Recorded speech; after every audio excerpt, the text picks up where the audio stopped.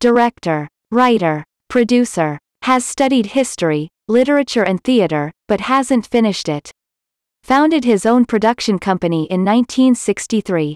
Has staged several operas, besides others in Bayreuth, Germany, and at the Milan Scala in Italy.